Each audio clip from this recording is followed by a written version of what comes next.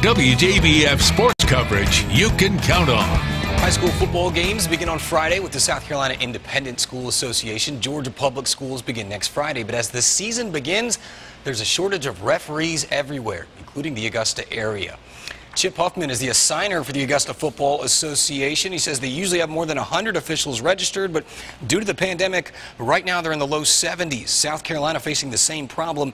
Takes about 75 to 80 officials to work 10 to 11 Augusta area varsity football games to help. Some schools have agreed to play on Thursday or Saturdays, and Huffman says his group is just going to adapt the best they can. It's just kind of a, a you know, a week to week thing. We're just going to have to, to survive each week, really. It's kind of like winning a football game. We're going to have to survive this Friday and move to next Friday and see what happens. Um, our first week of the season, the fourth, um, we're not overloaded with football games. We can cover those pretty easily. Um, the second week of the season, the 11th, we're loaded with football games.